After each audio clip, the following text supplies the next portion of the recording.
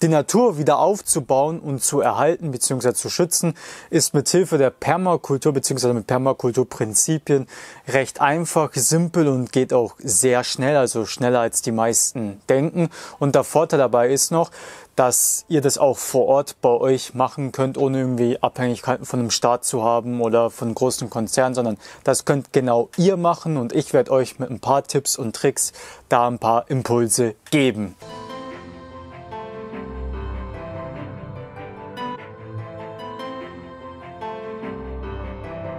Der Top-Tipp Nummer eins ist Bäume und Hecken pflanzen und die beste Möglichkeit, um einen Baum zu pflanzen, wäre gestern gewesen. Die zweitbeste Möglichkeit ist heute und jetzt kommen wir jetzt schon langsam in den März. Das heißt, das ist die optimale Pflanzzeitpunkt für Obstbäume zum Beispiel sind oder Bäume im Allgemeinen, weil sie dann kurz davor sind, ja, in den Wasserfluss beziehungsweise äh, darin kommen, dass sie austreiben und das Entscheidende eigentlich bei den Bäumen ist halt, die halten zum Beispiel den Wasserkreislauf bei euch in der Region. Da gibt es viele Projekte, die zum Beispiel in, mit Permakulturprinzipien Wüsten begrünt haben. Das auch mit Hilfe von den Bäumen. Das ist natürlich alles, was man zum Beispiel in der Grundschule eigentlich hätte lernen sollen, beziehungsweise ich in der Schule gelernt habe, diesen Wasserkreislauf, also Bäume verdunsten, äh, lassen halt ihr Wasser verdunsten, da bilden sich halt regional Wolken, das regnet dann hier ab, also der ganz normale Wasserkreislauf. Und Bäume binden halt das Wasser auch in den Boden, weil sie halt den Boden sehr gut durchwurzeln und dadurch auch Humus bilden. Humus ist auch sehr gut, um Wasser auch zu, äh, zum Beispiel zu speichern. Und Humus unter anderem auch noch dafür ziemlich gut, um Kohlenstoff in den Boden halt auch zu binden und das machen halt auch die Bäume, beziehungsweise die helfen uns äh, damit auch und die tun auch zum Beispiel die Erosion verhindern. Das Gute dabei ist, dass Bäume und andere Pflanzen natürlich das CO2 für ihre Photosynthese benötigen, also das heißt für Wachstum. Das heißt, sie entnehmen dann das äh, CO2 aus unserer Umwelt, aus der Natur sozusagen und nutzen es auch fürs Wachstum. Und da kann zum Beispiel auch die Landwirtschaft in dieser Monokultur mit der Äckerwirtschaft könnten sie zum Beispiel Agroforst machen. Das heißt, dass ich alle 50 Meter ähm, immer eine ba Baumreihe zum Beispiel pflanze und dadurch düngt sich bzw. mulcht sich der Acker selber, weil die, äh, das Laub da immer äh, runterfällt auf den Acker. Das heißt, ich habe immer mit größer werdenden Zeitpunkt immer ein selbstdüngendes Feld zum Beispiel, die durchwurzeln im Boden Erosion wird verhindert, wie schon vorhin erwähnt. Also von daher Bäume pflanzen und so schützen wir zum Beispiel die Natur bzw. leisten einen wesentlichen Beitrag dafür. Der nächste Punkt, den ich ansprechen möchte, ist den Humusaufbau. Bei uns in Europa, beziehungsweise wenn ich hier mal die Äcker so anschaue, da wird der Humus sozusagen verbrannt, weggeschwemmt oder einfach nur zerstört. Und wie, wie ich auch vorhin bei den Bäumen erwähnt habe, Humus ist auch ein wertvoller Speicher für Kohlenstoff und fördert natürlich auch die ja, das Bodenlebewesen, Mikroorganismen, Regenwürmer und alles Mögliche und fördert natürlich auch das Pflanzenwachstum, je besser der Boden ist. Von daher auch Humus aufbauen, Kompost ansetzen, mulchen. Äh, ich tue zum Beispiel meine Beete immer bedeckt halten mit Mulchmaterial oder immer begrünt, also begrünen oder bewachsen lassen. Und was man auch bei dem beim Humus machen kann oder beziehungsweise beim Kompost natürlich auch Bokashi mit verwenden, weil der Vorteil von Bokashi ist, der das natürlich auch vorfermentiert beziehungsweise vorverarbeitet, dass man dadurch auch äh, gekochte Sachen mit reinwerfen kann, Knochen, äh, Fleisch, alles Mögliche, was sozusagen gelebt hat, kannst du in den Bokashi vorfermentieren lassen, dann in deine Beete einarbeiten oder beziehungsweise in den Kompost reinwerfen. Da kommen auch dann keine Ratten oder ähnliches oder Aasfresser und plündern den Kompost, sondern das wird dann schön, ja, sozusagen umgesetzt bzw. verarbeitet und dadurch spart ihr euch noch wesentlichen Bestandteil an Biomüll oder ähm, allgemein an Küchenreste. Wenn ihr jetzt zum Beispiel keinen Garten habt oder ihr lebt in einer Stadt, schaut nach euch bei euch in der Umgebung nach einem Bauern oder sonst irgendjemanden, der anbaut. Füllt für ihn zum Beispiel diese Bokashi-Eimer oder sammelt in einem separaten Eimer eure, ja, eure Küchenreste und gibt dem dem dann nach, nach einer Woche oder nach zwei Wochen oder je nachdem macht halt einen Zeitpunkt aus, wenn er das zum Beispiel abholen kann und gibt ihm halt diesen organisches, das organische Material, was er zum Beispiel in seine Beete dann in seinen Acker mit einarbeiten kann. Oder was ihr auch machen könnt, ist zum Beispiel euch eine Wurmkiste äh, anschaffen und da eure äh, organisches Material dann mit reinsetzen und vielleicht dann die Erde jemanden schenken, verkaufen oder was weiß ich was, einfach, dass halt da durch eure organischen Materialien, die bei euch in der Küche anfallen, dass die einfach wieder in Erde umgesetzt werden. Zusätzlich sollten wir wieder zurück zur Mischkultur und weg von der Monokultur. Also man kann sich ja mal die Felder da draußen, die konventionellen Felder in der Monokultur anschauen, der Monomais bei uns oder der Monogetreide oder Monokartoffeln. Das ist eigentlich eine Katastrophe für den Boden, für das Bodenlebewesen und auch für die Insekten, weil einfach aus dem Grund, wenn man zum Beispiel nur Mais anbaut, dann ist schon der Bauer bei den Mengen, die er zum Beispiel hat, der konventionelle Bauer mit den mehreren Hektar, ist er eigentlich gezwungen zu spritzen und muss da die Chemiekeule reinwerfen. Und dadurch sinkt natürlich auch die Artenvielfalt, die Insekten sterben dadurch, das, der Boden wird komplett ausgelaugt. Und das kann man halt mit einer Mischkultur ziemlich gut äh, verhindern, weil man einfach mehrere Pflanzen hat. Je unterschiedlicher die Pflanze ist, je mehr die Blütenvielfalt ist, desto unterschiedliche Insekten kommen, weil die Insekten sich auf spezielle Pflanzen sozusagen spezialisieren. Da hat man eine schöne große Artenvielfalt. Und das heißt, wenn man so, sowas wie Schädlinge hat, also zum Beispiel Schnecken, gibt es Tigerschnecke oder Weinbergschnecken oder andere größere Tiere, die Igel wird ja auch ab und zu mal essen, Läuse. Wenn man solche, äh, ich nenne sie mal in Anführungszeichen Plage oder Ungleichgewicht, in einer Mischkultur kann man das dann nach mehreren Jahren in der Permakultur auch wieder ausgleichen, dass man dann mehrere Tierchen hat, Schlupfwespen bei Blattläusen oder Marienkäfer und so weiter und so fort. Und dann spart man sich einfach diese Chemiekeule, die Pflanzen wachsen auch gesünder, kräftiger und man hat auch nicht mehr so viel, ja, muss nicht so viel Zeit investieren, um seine Pflanzen auch zu schützen. Also das heißt, hier diese äh, Mischkultur wieder mit einbringen, zumal die Pflanzen auch gegenseitig profitieren und dann auch nochmal besser wachsen. Und der andere Vorteil ist, wenn ihr zum Beispiel Wildblumenwiesen anlegt, was ich auch immer sehr empfehle für Insekten, weil halt unser Planet ein Insektenplanet ist. Ähm, ich glaube, es gibt mehr äh, Insektenarten, als es Menschen auf der Welt gibt. Also das ist enorm und die sterben halt momentan rasant. Also das Artensterben von den Insekten oder das Bienensterben im Allgemeinen, Insekten Bienensterben sage ich mal, das ist vielen gar nicht bewusst und wir haben da auch ein riesiges äh, Problem, dass es halt immer weiter schrumpft und das kann man einfach entgegen, indem man halt nicht nur Insektenhotels baut, denen halt sozusagen zu Hause gibt, genauso wie bei Vogelnistkästen über die Hillenbahn, sondern für die Vögel baut zum Beispiel, äh, pflanzt Hecken an, pflanzt Bäume an, für die Bienen Wildblumenwiesen, äh, zum Beispiel anlegen auf einer Magerwiese, damit halt auch zum Beispiel durch die erhöhten Insektenaufkommen die Vögel auch ein Futter haben. Also dass man halt sozusagen wie hier in einem Kreislauf denkt, weil wir Menschen natürlich auch mit in dem Kreislauf dazugehören. Im Punkt um Müll sollten wir vielleicht mal auch unsere eigene Lebensweise mal ein bisschen überdenken mit den ganzen ja, Plastikverpackungen, die wir zum Teil bei unseren Lebensmitteln und unseren Produkten haben oder allgemein die Verpackungen, wie viel Müll wir eigentlich auch produzieren. Ich denke mal, wir, haben, wir produzieren ja immer weiter und normalerweise bräuchte vielleicht ein Familienhaushalt ein oder zwei Autos und ich kenne Familien, da hat jeder ein eigenes Auto, also Mutter, Vater, Kinder und alles Mögliche und auch Kühlschränke und Waschmaschinen und wir produzieren einfach nur, nur noch weiter wie die Blöden. Und das sollte man vielleicht auch mal ein bisschen überdenken, weil ich, wo ich in Costa Rica war, ich auch eine kennengelernt habe aus Holland und die war in Guatemala. Und da hat sie halt von jemandem erfahren, beziehungsweise von den Einheimischen, dass es in, ich glaube, ich weiß nicht, vor Jahrzehnten, ich glaube in den 50er, 60er Jahren oder noch früher, dass die dort keine Müllwirtschaft kannten. Also die hatten einfach Produkte, zum Beispiel Zahnbürsten oder sowas, die waren immer aus Naturrohstoffen. Das haben sie einfach dann in die Natur rausgeworfen und das hat sich dann einfach von alleine zersetzt.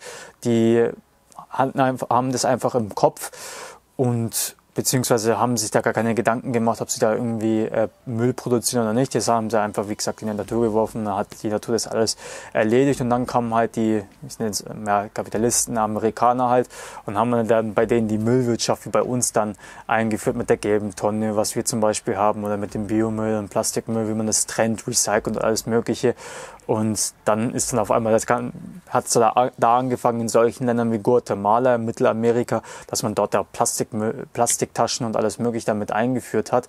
Und dann ist dadurch diese Müllwirtschaft entstanden. Das Interessante dabei ist, die Leute, die sind so, gibt noch ältere Leute, die sind so dran gewöhnt, dass sie halt ihre ihre, ihren Müll, sage ich mal in Anführungszeichen, einfach in die Natur rauswerfen, dass sie gar nicht realisieren, dass, die, dass die Plastiktüten und so richtig lange benötigen, bis sie da irgendwie zersetzt werden. Das haben die gar nicht mehr so im Schirm, weil die es halt einfach äh, gewohnt bzw. programmiert sind darauf, dass sie das einfach, ja, einfach wegwerfen können. Und das ist vielleicht auch mal ein Denkanstoß für uns, dass wir vielleicht äh, keine Verpackungen mehr haben. Es gibt ja äh, keine Verpackungsläden, sage ich mal, wo man einfach da in seinen eigenen Behältern oder Kisten die Sachen einfach abfüllen kann. Momentan bekomme ich auch sehr viele Astrückschnitte von den Leuten hier, weil ich sie darum bete, dass sie mir zum Beispiel hier mal einen Garten bzw. Permakultur äh, bringen und das hexe ich dann einfach durch und mulche damit meine Beete. Einfach aus dem Grund, um dadurch Pilze bzw. Pilzmyzele oder Mykorrhiza-Pilze in meinem Fall mit anzusiedeln und man sollte sich auch viel mehr mit den Pilzen beschäftigen, nicht nur zum Essen oder für manche nutzen sie auch zu irgendwelche Heilung von irgendw äh, irgendwelchen Leiden, sondern sich einfach mal beschäftigen, was Pilze eigentlich auch alles können. Die sind einfach auch für die Zersetzung mit da und das ist einfach ein Wunder, sage ich mal. Die können wirklich hier bei uns den Planeten wieder reinmachen, beziehungsweise den ganzen Müll, den wir produzieren, auch Plastik, Erdölprodukte und sowas, Radioaktivität können die auch neutralisieren, zersetzen. Mit ihren speziellen Enzymen. Also es gibt, für, gibt halt Pilze, die haben spezielle Enzyme und die können dann äh, spezielle Stoffe zum Beispiel zersetzen. Also zum Beispiel gibt es Pilze, die halt Plastik zersetzen können oder es gibt halt Pilze, die halt auch zum Beispiel eine Straße, Teer zersetzen können. Und da empfehle ich zum Beispiel mal Paul Stamets, an, äh, sich mal anzuschauen, die Videos oder beziehungsweise auch das Buch äh, zu lesen, werde ich euch unten in der Videobeschreibung verlinken oder der Patrick von Rohvegan Unlimited, der hat auch mal ein schönes Video dazu gemacht, wie halt Pilze diese Fähigkeit auch besitzen. Und das kann ich auch nur jedem empfehlen, mal sich anzuschauen, sich das auch mal auf sich wirken zu lassen und mal gucken, wie man Pilze bei sich allgemein erstmal im Kleinen anfängt, bei sich im Garten äh, mit einbringt und dann die auch weiter sich verbreiten lässt. Weil wir gerade bei den ganzen Monokulturen sind, die ja auch zum Teil mit einem gewissen Luxus mit einhergehen, beziehungsweise ein Luxusdenken von uns haben. Das meine ich einfach in dem Zusammenhang, weil ich ja zum Beispiel in Costa Rica war und da war ich auch zum Teil auf einer Farm, die auch Kaffee angebaut hat und der Kaffee war wurde einfach nur katastrophal angebaut. Der wurde nicht bio angebaut.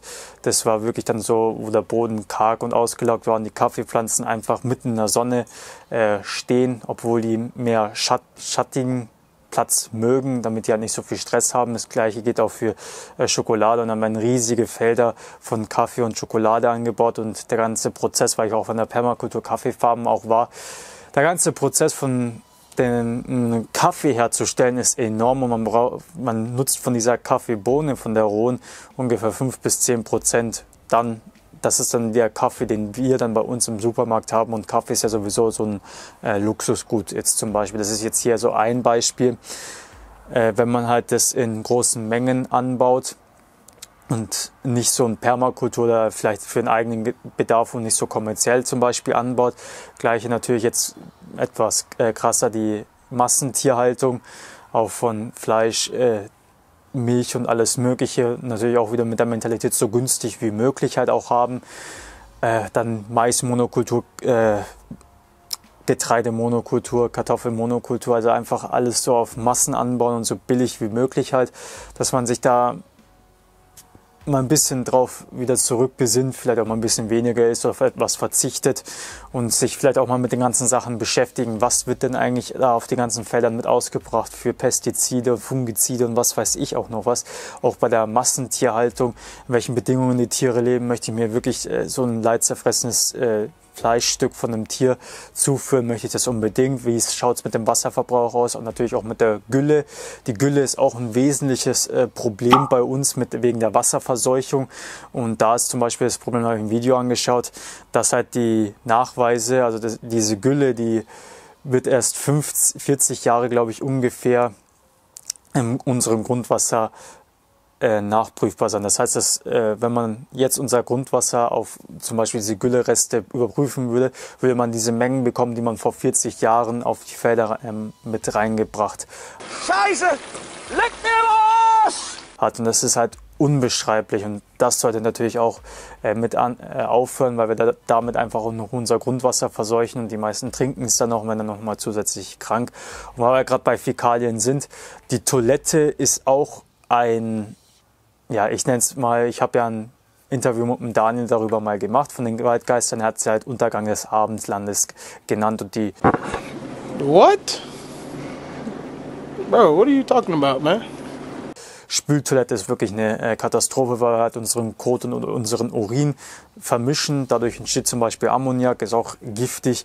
Und dann entsteht auch dieser Gülle mit dem ganzen Klärschlamm, der wird ja auch wieder auf die Äcker mit rausgebracht. Und das andere Problem ist halt, da der, unserem Kot und unserem Urin, das kannst du sozusagen auch als Dünger wieder in den Garten mit einbringen. Beim Kot natürlich auch wieder auf einem separaten Kompost für ein, zwei Jahre oder drei Jahre liegen lassen. Dann kann man den wieder auf, äh, bei sich wieder in den Garten mit einbringen. Und wird vielleicht für den einen oder anderen ziemlich eklig sein, aber das ist halt einfach diese Kompost-Trenntoilette, dass man die halt auch nutzt, damit man halt diesen Kreislauf bei sich lässt, bei sich in dem Garten, auch die Nährstoffe und alles mögliche, das ganze Leben bei sich im Garten lässt und dann dadurch nochmal Wasser spart, diese Katastrophe vom, ja, von der Gülle sozusagen oder vom Klärschlamm vermeidet und die Pflanzen sozusagen nochmal einen zusätzlichen Wachstumsschub von euch sozusagen bekommen, weil der Mensch einfach mit zu diesem Kreislauf gehört und nicht aus diesem Kreislauf ausbrechen kann. Wir sind ein Teil dieser Natur. Well, that's right. Auch ein wichtiger Punkt ist natürlich der eigene Obst- und Gemüseanbau, wie ich es zum Beispiel hier bei meinem Permakulturprojekt mache. Sträubswiesen zum Beispiel anlegen. Also in der Gemeinde gibt es immer wieder mal freie Flächen, wo man mal nachfragen kann, ob man vielleicht dort der Gemeinde Bäume spendiert. Habe ich zum Beispiel auch gemacht, dass man da vielleicht eine Streuobstwiese anlegen kann und sich darum pflegt, damit halt die Leute auch vor Ort sich an dieser Streuobstwiese dann bedienen können.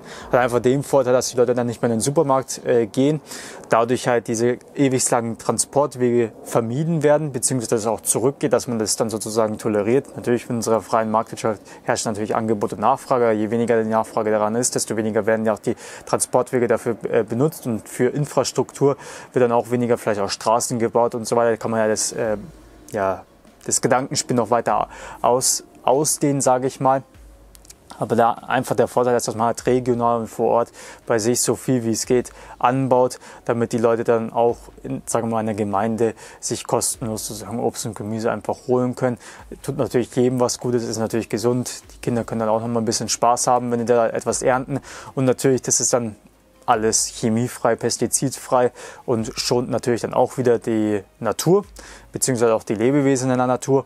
Und es schafft natürlich auch wieder neue Lebensräume für Insekten, für Bienen und für Vögel. Also von daher, wenn ihr eine Möglichkeit habt, einen Garten anzulegen oder euer eigenes Obst und Gemüse anzubauen, fangt auch jetzt schon damit an. Es wird sich auch lohnen, egal wie klein euer Schritt als am Anfang ist.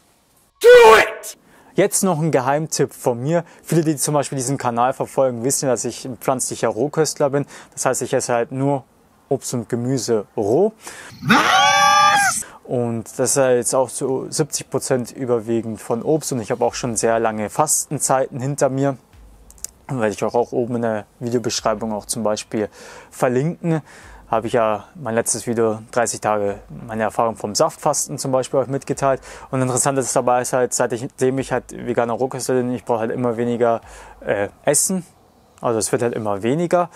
Und ich habe trotzdem halt mehr Energie. Das ist halt zum Beispiel der ein, eine Punkt. Und das andere ist halt, dass ich durch meine Ess- bzw. durch mein, mein Essverhalten, sage ich mal, immer weniger auf Sachen zurückgreifen muss, die sehr aufwendig sind in der Produktion, also zum Beispiel äh, Fleischproduktion oder Tiere halt großziehen, die brauchen ja auch ein gewisses Futter. Bei der Massentierhaltung ist ja natürlich auch Soja zum Beispiel mit dabei, also der meiste Soja, der angebaut wird, ähm, geht ja zum Beispiel in die Massentierhaltung, dafür werden zum Beispiel Regen, Regenwälder wieder mit abgeholzt. Das geht zum Beispiel weg, weil ich halt, äh, mich nicht um Tiere kümmere, beziehungsweise ich sie ja auch nicht großziehen möchte zum Essen. Gleiche gilt auch für Eier, das heißt, ich muss für die nicht extra anbauen. Getreideanbau fährt zum Beispiel auch flach für Mehl, das ist auch sehr aufwendig, braucht man auch eine große Fläche oder Kartoffelnanbau. Kartoffeln esse ich auch nicht, zum, als Beispiel halt. Und das kann man ein bisschen äh, weiter äh, rausziehen. Das heißt, alles, was recht aufwendig ist in der Herstellung, esse ich sozusagen nicht, spare mir sozusagen diese Fläche ein. Und interessant ist halt zum Beispiel, dass auch Arnold Ehret in seinem Buch halt beschreibt, dass je wenn die Leute sehr rein sind von ihrem Körper her dass, und nicht mehr so viel Essen brauchen, dann reicht auch, äh, reichen eigentlich nur ein paar, ja, bisschen Obst am Tag. Das, das würden dann einige Obstbäume im Jahr schon ziemlich gut regeln für eine äh, Familie. Und dann sagte er, da müsste man nicht mehr so viel äh, anbauen, könnte man sozusagen einen Obstwald oder sowas einfach äh, anbauen und die Leute hätten dann gar, gar kein Problem mit dem Essen. Und das ist halt zum Beispiel für mich so, ja, sagen wir mal, meine Vision, wo es halt hingehen soll, dass man halt zum Beispiel wieder so Wälder anbaut, wo man wo das halt Obst und Gemüse einfach wild wächst, wo man sich einfach wieder so bedienen kann und man so im Allgemeinen sowieso nicht mehr so viel Essen braucht, nicht mehr so viel verarbeiten muss und ja, so große Flächen einfach, einfach für den Obst- und Gemüseanbau zum Beispiel benötigt. Also von daher ja, kann ja nur jedem empfehlen, dass er sich vielleicht mal mit der schleimfreien Heilkost von Arnold Ehret mal mit, äh, mit auseinandersetzt. Äh, mit der veganen Rohkost, sich da auch einfach informiert. Habe da auch schon einige Videos dazu gemacht. Das Video soll für euch einfach nur ein Impuls sein, welche Möglichkeiten ihr zum Beispiel auch bei euch im kleinen Rahmen habt, um die Natur zu schützen. Ich finde diese Möglichkeiten auch um einiges effektiver als die momentane Politik es halt macht, wie sie die Natur schützen möchte. Kann man sich einfach mal anschauen, was die Gemeinden jetzt momentan machen. Zum Beispiel auch bei mir sehe ich immer so vermehrt Sachen, die mir jetzt nicht so gut gefallen, wie einfach Bäume wahlweise irgendwo weg äh, abholzen. Solche Sachen kann man sich einfach bei sich in der Umgebung mal, beziehungsweise mal die Politik einfach mal so ein bisschen umschauen, was da für Sachen zum Teil auch gemacht werden, ob das jetzt wirklich der Natur hilft oder nicht. Müsste eine lustige Steinigung werden. Ja. Kann jeder selbst sein Bild äh, draus machen, beziehungsweise seine Meinung bilden, kann man sich auch mal ruhig mit den Sachen beschäftigen und informieren. Jedenfalls, wenn euch das Video gefallen hat, würde ich mich über einen Daumen nach oben freuen. Gerne könnt ihr den Kanal kostenlos abonnieren. Wenn ihr noch auf die Glocke drückt, dann werdet ihr benachrichtigt, wenn ich ein neues Video hochlade. Und gerne auch unten in die Kommentare schreiben, wenn ihr zum Beispiel noch weitere Möglichkeiten habt, wie man einen Beitrag leisten kann, um die Natur zu schützen. Würde mich auch sehr freuen. Und sonst gerne auch dieses Video an Klimaschützer, Klimaaktivisten, Freunden, Bekannten und Familie teilen und verbreiten. Ist immer gerne gesehen und natürlich auch erlaubt. Und sonst findet ihr weitere Unterstützungsmöglichkeiten für mich und mein Projekt unten in der Videobeschreibung. In diesem Sinne, vielen Dank, dass ihr eingeschaltet habt und wir sehen uns in der nächsten Episode hier im Peace Projekt. Bis dahin, ciao.